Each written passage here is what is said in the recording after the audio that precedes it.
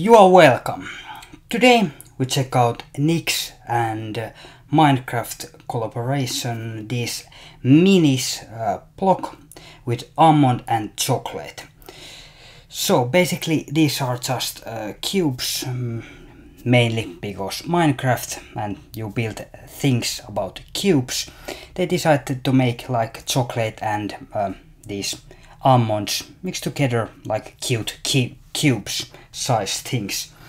And these snacks are made of course uh, almond sugar and some sunflower oil.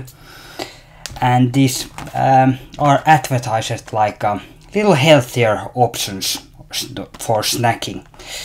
But the um, so the basically the sugar has been switched to artificial sweetener or sweetener. These are, uh, I think the. Uh, so what these are cost? They was uh, roughly about five to six euros.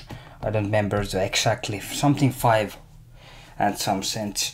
And this contains eight uh, pieces or eight blocks, uh, 160 where they are uh, available, but I found this in um, Prisma, which is Finnish um, uh, supermarket, and um, I just randomly saw them on the there on the shelf, and the, so I don't know where they are. Cubes.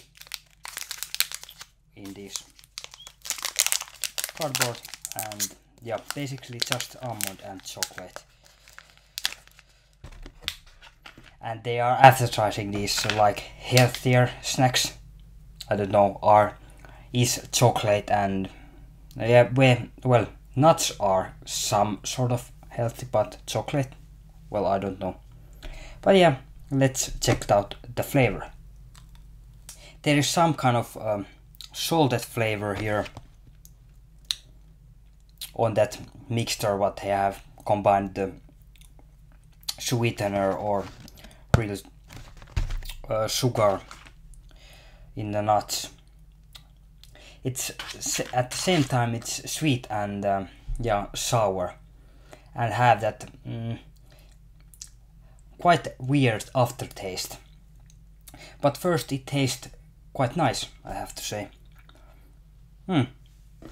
So should I recommend these? Yeah, why not? Quite hard to. Mm, to get, but yeah, why not? So, if you are a fan of Minecraft or just like these healthier snack options, check it out. Quite nice.